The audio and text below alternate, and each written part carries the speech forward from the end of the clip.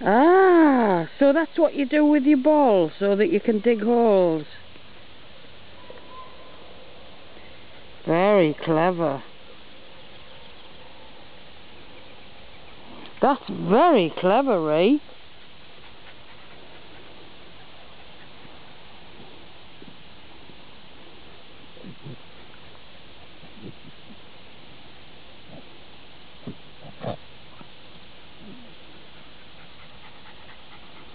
Well, what a clever place.